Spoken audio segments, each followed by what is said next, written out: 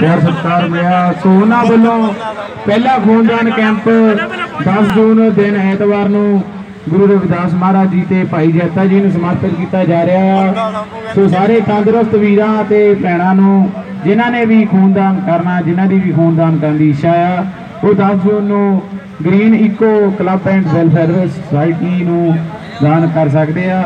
So green eco club and welfare society ਵੱਲੋਂ ਖੂਨਦਾਨ camp 10 ਜੂਨ ਦਿਨ ਐਤਵਾਰ ਨੂੰ ਲਗਾਇਆ ਜਾ ਰਿਹਾ। ਸੋ ਉਹਨਾਂ ਨੇ, ਜਿਨ੍ਹਾਂ ਨੇ ਵੀ ਖੂਨਦਾਨ ਕਰਨਾ ਹੋਵੇ, ਉੱਥੇ ਪਹੁੰਚ ਸਕਦੇ ਆ। ਹੈਲੋ। ਹੈਲੋ।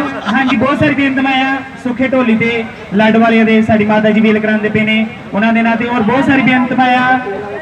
ਬਿੱਟੂ ਮਸ਼ੰਮੀ ਦੇ ਨਾਂ ਤੇ। ਔਰ ਬਹੁਤ ਸਾਰੀ ਬੇਨਤੀਆਂ ਆ। ਹੁਸਨ ਲਾਲ ਜੀ ਦੇ ਨਾਂ ਤੇ। ਹੈਲੋ।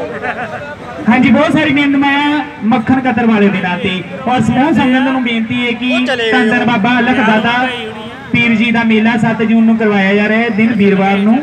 ਹਾਂਜੀ ਅਤੇ ਸਾਰੀ ਸੰਗਤ ਨੂੰ ਬੇਨਤੀ ਹੈ ਕਿ ਮੇਲੇ ਵਿੱਚ ਪਹੁੰਚਣ ਦੀ ਕਿਰਪਾਲਤਾ ਕਰਨ ਜੀ। ਅਤੇ ਜਿਸ ਵਿੱਚ ਕੁਲਦੀਪ ਮਾਨਕ ਦੇ ਭਤੀਜੇ ਜੀ ਪ੍ਰਗਟ ਖਾਨ ਜੀ ਅਤੇ ਹੋਰ ਕਲਾਕਾਰ ਪਹੁੰਚ ਰਹੇ ਨੇ। ਪਹੁੰਚ ਰਹੇ ਨੇ। ਵੱਲੋਂ ਬੇਨਤੀ ਹੈ ਕਿ ਸਰਪੰਚ ਹਾਂਜੀ।